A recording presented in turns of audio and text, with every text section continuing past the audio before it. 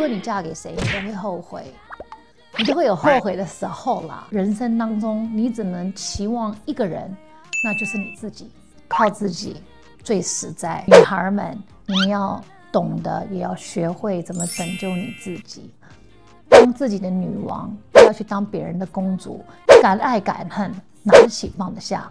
这就是你应该要当的女人。女人一定要进入婚姻吗？这个真的要看自己。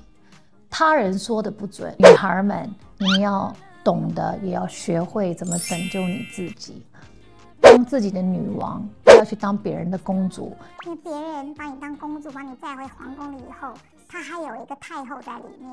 所以，要不要结婚看自己。结婚，我还是相信它是一个美好的结合。如果这个人对了。当然，很多人会 challenge 我说，什么叫人对？你二十岁怎么知道人对？你说对了，就是不知道嘛。所以有的时候会看错。人生一天到晚都是一大堆决定，Life is all about choices。你就算有走错，或是你走弯了，或是你要再回过头来，It's okay, it's your life。为什么二三十岁女人渴望结婚，步入婚姻又想走出来？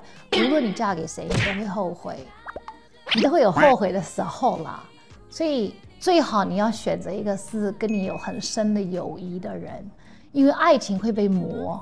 你只要对他人不要有太过高的期望，在这个人生当中，你只能期望一个人，那就是你自己，靠自己最实在。这人生本来就是有很多 pain and suffering，你就放过你自己了吧。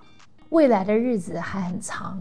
绝对有很多好事、美好的体验、美好的人等着你。当你在一段感情的时候，就表示你的人生的这一个章节结束了，写不下去了，那你就是要翻篇，创造一个新的章节，就是要创造一个新的自己。The world is so big，人生只能往前看。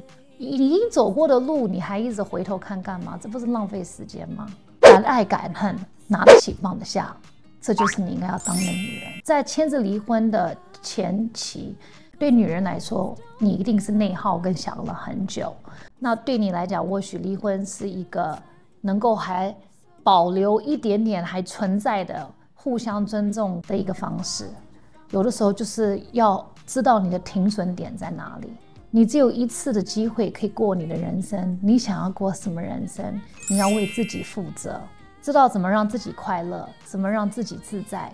如果说在一一段关系里面，你已经内耗到你不认识自己了，你不喜欢现在的自己了，或是你已经失去自己了，那也不是健康的。所以我觉得还是要找回一个跟自己最健康的关系，这个是最重要。